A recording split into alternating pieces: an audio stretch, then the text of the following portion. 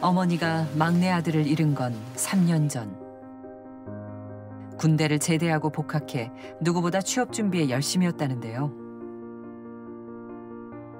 아들 형제만 둔 어머니를 누구보다 살뜰히 챙기던 막내입니다.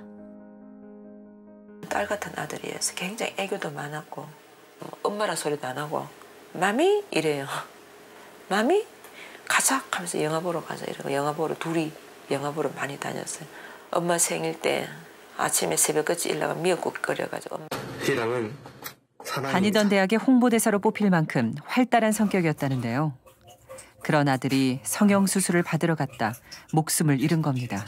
사고 나고 나서 저, 자, 저, 저 상가집에 친구들이 와서 얘기를 해서 이제 알았거든요. 어, 어릴 때 어릴 때는 우리 아이 얼굴이 입이 조금 나왔어요. 그게 이제 고등학교 1학년 때 친구들한테 그, 그걸로 인해서 좀 왕따를 당했나 봐요. 그래 우리 아이가 그때 트라우마가 생겼는가 봐요. 그 나중에 알았거든요. 본인이 이제 자꾸 이 트라우마가 있으니까 깎아야 된다고 생각을 한 거예요. 부모님이 반대할까 봐 2년 동안 돈을 모아 혼자 성형외과를 찾은 아들은 수술대에 오른 지 49일 만에 가족의 곁을 떠났습니다. 아침 새벽 7시인가 병원에서 전화가 아가 심정지 일어났다고 심폐했다고 빨리 오라 하더라고요. 그래 갔더니만은 아이 주변에 커튼을 쳐놔놓고 심폐를 해가지고 막 피가 튀고 막 보지를 못하겠더라고. 그래 준비 마음의 준비하라 하더라고. 마음의 준비. 나는 그런 것까지 봤습니다. 우리 애들이 비참하게 죽어가는 것까지 다 봤습니다.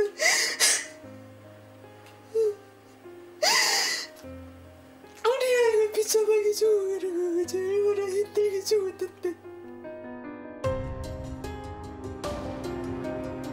3년 전 그날 아들 대희 씨에겐 무슨 일이 있었던 걸까요? 일명 돌려깎기 수술로 불리는 안면 윤곽 성형술을 받았다는 대희 씨. 그런데 수술을 마치고 회복실로 옮겼던 환자를 의료진이 다시 수술대 위에 눕힙니다.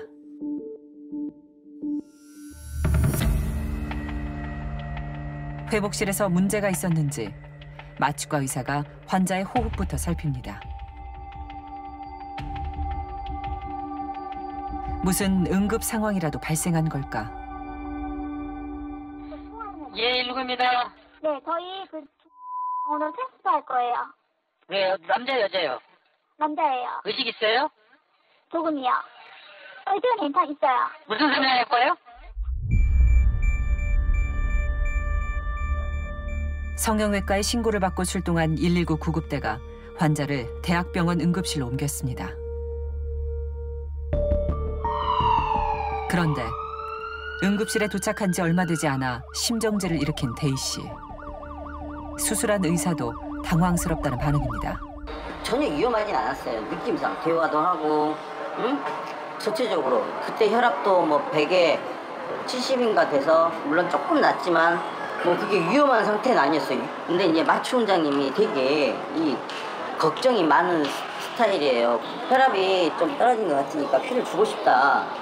피를 줘야 되는데 피가 없는 거예요. 근데 대학병원 응급실로 오면 어쨌든 대학병원 피가 항상 같이져 있으니까.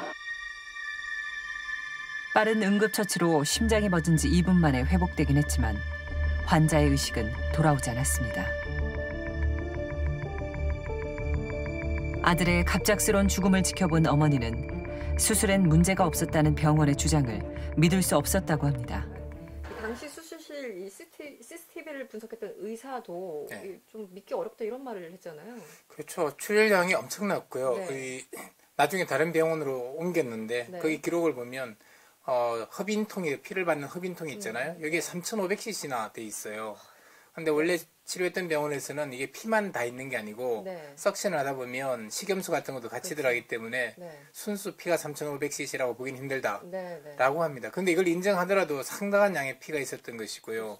네. 이 전문의를 만나면 이 안면 윤곽 성형술 같은 경우는 300cc에서 400cc만 돼도 초비상 상태래요. 아, 그렇습니까? 근데 이미 뭐 거의 배 삼- 넘게, 그렇죠. 거기다가 어, 화면에 보면 수술포에 피가 흥건히 고여 있어요. 네, 네. 근데 이 수술포가 더 이상 피를 빨아들이지 못하니까 이 피가 뚝뚝 바닥에 떨어진 겁니다. 그다음에 바닥에 피가 흥건했고요. 음. 네. 이 아까 말씀하신 간호조무사가 네, 네. 어, 대걸레로 무려 13번을 닦아냅니다. 아. 엄청난 양의 피가 흘렀던 것이죠. 네.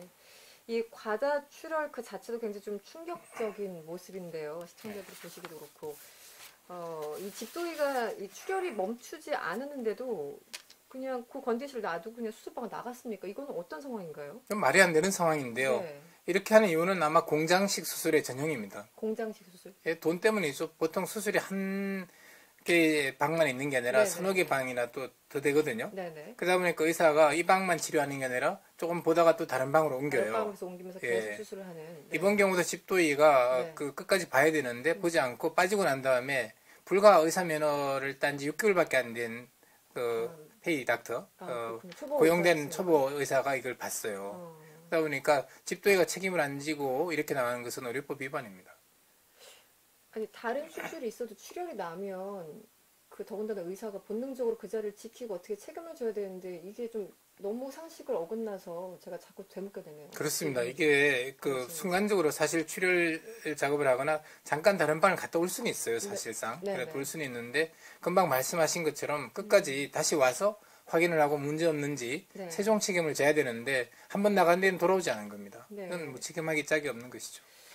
이 권대시 사건 같은 경우는 사실 이제 그냥 묻힐 수도 있잖아요. 사실 의료사고라는 게 밝혀내기가 음. 굉장히 힘들고 아, 그래서 CCTV를 500번 돌려보시고 그런 건데 우리나라에서는 의료사고가 났을 때 이 병원 측의 의료 과실을 환이, 환자에게 본인이나 유족이 직접 입증을 해야 되니까 이게 굉장히 좀 어렵지 않습니까 상황이?